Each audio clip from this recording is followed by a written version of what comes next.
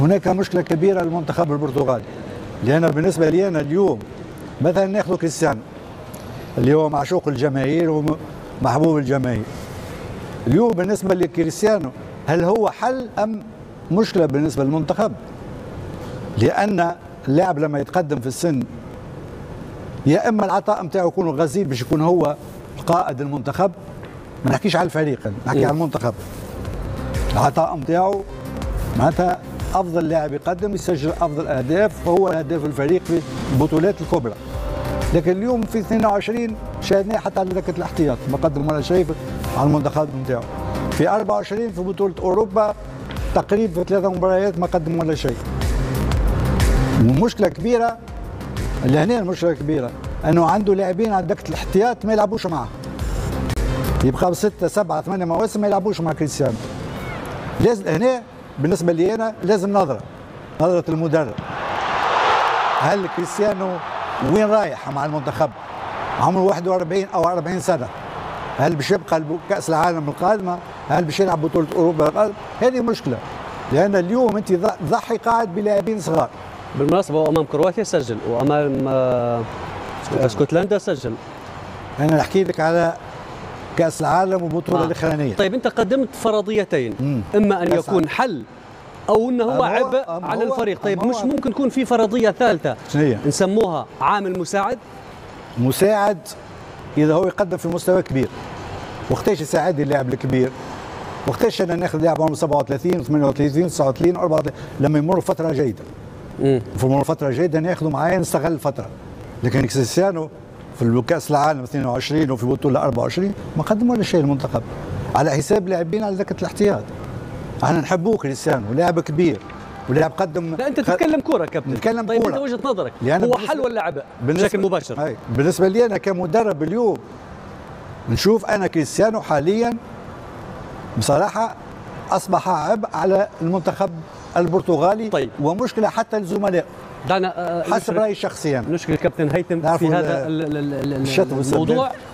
آه، آه، يثار يثار حديث كابتن طارق. يثار هو كابتن طارق قدم فرضيتين حل أو عبء وأنا قدمت فرضية ثالثة عامل مساعد أنت مع أي الفرضيات الفرضيه الثالثه لأن أنت أن تقترب من 40 عام ولا يزال لديك الشغف والطموح والدوافع فهو شيء عظيم. شيء نادر الحدوث. شيء صعب تحقيقه. رونالدو فبراير المقبل يكمل 40 عام وشفنا الارقام أكثر لاعب لاعب مباريات دولية أكثر لاعب سجل أهداف دولية هداف ال Champions League. أرقام لا حصر لها. أنا أشوف إن في كأس العالم في قطر 2022 زي ما قال الكابتن طارق كانت في مشكلة بين فرناندو سانتوس وكريستيانو رونالدو. خلاص شهر العسل اللي كان بينهم اللي كان سنوات وسنوات وحققوا فيه أمجاد بتحقيق اليورو 2016 في فرنسا وتحقيق دوري الأمم الأوروبية في 2019 في نسختها الأولى انتهى. وأصبح هناك عدم قناعة من فرناندو سانتوس بما يقدمه كريستيانو رونالدو. وخصوصا بعد المشاكل اللي دخل فيها مع مانشستر يونايتد آه، وتنهاخ عشان كده كان بيشارك مش بشكل أساسي وكان على مقاعد البدلاء وكلنا شفنا بكائه بعد الخساره أمام آه، المغرب. الحل السحري اللي جه كان روبرتو مارتينيز. لأن هو راجل مقتنع برونالدو كتير جدا وأعاده مرة أخرى للتشكيلة الأساسية واعتمد عليه بشكل كبير. والنتائج اللي بيحققها روبرتو مارتينيز مع منتخب البرتغال نتائج غير طبيعية. لما تلعب 22 مباراة تفوز في 18 رقم كبير جدا بنسبة 81% أي مدرب ناجح بيبقى نسبة انتصاراته 60 70 ماكسيموم إنما 81% والأربع مرات التانيين خسرهم على فكره هو ما تعادلش. لكن كابتن طارق ذياب أشار لنقطة لابد أن تؤخذ في عين الاعتبار كابتن هيثم. أين البرتغال في البطولات الكبيرة؟ على مستوى اعتلاء منصات التتويج. صحيح. في آه، قطر شفنا ماذا فعلت البرتغال والخساره أمام إسبانيا. في آه، اليورو في 2024 خسرت كلنا فاكرين ضربات ترجيح أمام فرنسا. تقدرش تقول تلوم مدرب ان هو خسر بضربات ترجيح. يعني دي حظ ممكن زي ما خسرت ممكن أكسب.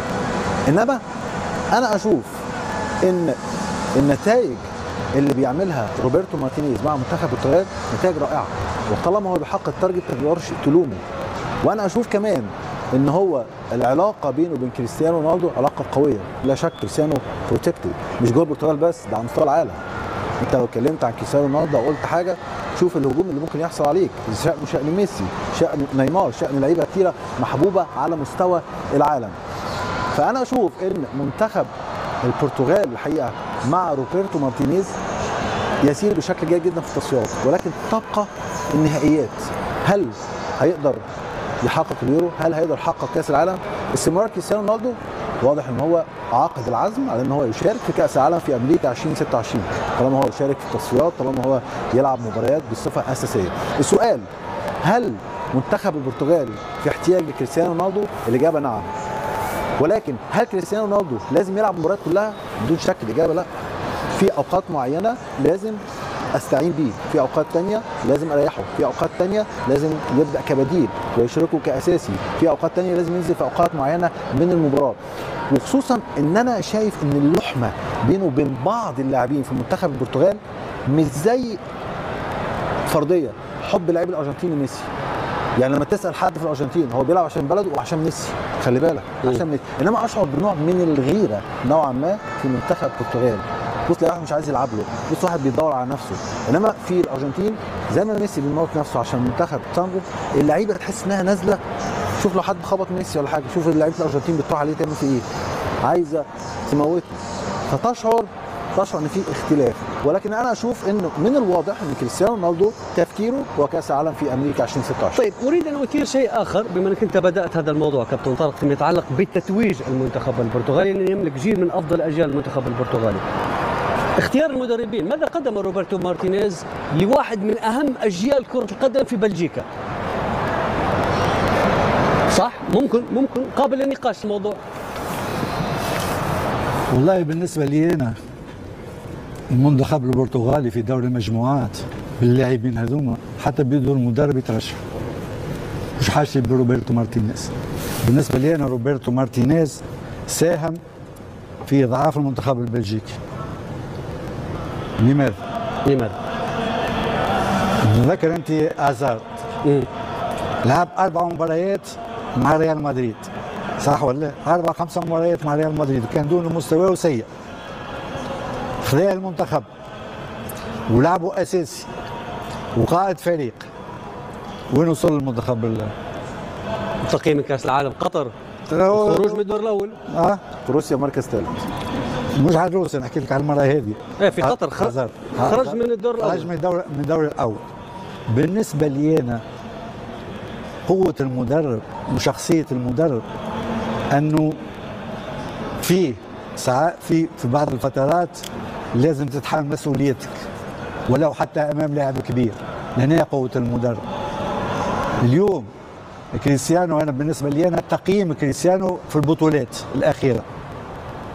إذا تعطيه علامة في كأس العالم في في بطولة أوروبا ما تعطيش حقها ثلاثة أربعة على عشرة. يعني اللاعب هذا ما قدم ولا شيء. لما اللاعب ما يقدمش هذا باش يضر المنتخب ويضرني أنا. ولهذا لما تقولوا والله المنتخب في دوري المجموعات مع المدرب هذا عمل عمل معناتها أشياء كبيرة هذا الفريق يلعب بدون مدرب دوري المجموعات بدون مدرب. تقدر تفوز وتقدر ترشح لكن في البطولات الكبيرة البرتغال مش موجود. إذا قيموا اللاعبين بتاع البرتغال تلقاو كريستيانو أقل لاعب العطاء نتاعو ليس لأنه لأنه تقدم في السن. 40 سنة راهو يلزمنا نكونوا عقلاء ويلزمنا ما نخافوش من الانتقاد. كريستيانو عمل كل شيء في كرة القدم لكن اليوم الحاضر والمستقبل وين ماشي كريستيانو مع المنتخب البرتغال نحبوش يلعب على حساب المنتخب لأنه مش في صالح. اليوم يلعب على حساب المنتخب وعلى حساب اللاعبين الآخرين. اليوم لو تقول لي راس حربة في المنتخب البرتغالي. اعطيني راس حربة آخر. ما ثماش. ما ثماش راس حربة آخر. راموس. إيه راموس على دكه الاحتياط وحتى مع باريس مسكين مع شيء لأنه مش قاعد ياخذ الفرصة نتاعو مع المنتخب. في الثلاثه المباريات الأخيرة في بطولة أوروبا. تصور كريستيانو ما خرجش ولا دقيقة وهو كان دون المستوى.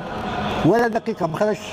يلعب حتى في في الوقت الإضافي يلعب اساسي يعني كيفاش لاعب؟ لاعب عمره 40 سنة. حتى الوقت الإضافي ولاعب ما قدم ولا شيء تعطيه. ولاعبين على دكه الاحتياط. أقل لاعبين ما لعبوش هما رؤوس وهذا شيء مسؤول عليه المدرب. طبيعي. هذه قوة مدرب. أنا نحب مدرب قوي عنده شخصية. بالنسبة لي أنا لما تاخذ هزار وما لعبش مع الريال وكان دون المستوى طبيعي إنك تاخذ كريستيانو. يلعب ويسجل مع الفريق نتاعو في الدوري السعودي. ولهذا بالنسبة لي أنا طيب. المدرب الكبير اللي يتحمل مسؤوليته قال أنه اللاعبين غايرين منه. لا مش لاعبين غايرين منه. طيب شرك نسافر نسافر معاك. وبيك لإسبانيا لجمال جبل ونرجع لك. أوكي. وفي